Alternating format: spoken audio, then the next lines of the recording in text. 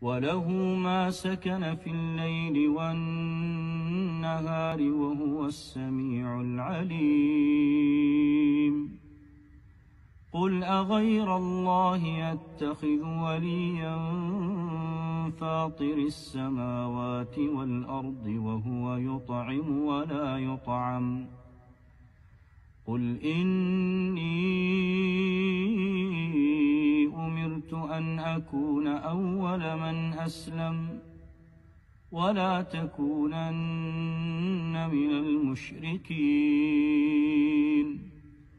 قل إني أخاف إن عصيت ربي عذاب يوم عظيم. من يصرف عنه يومئذ فقد رحمه. وذلك الفوز المبين. وإن يمسسك الله بضر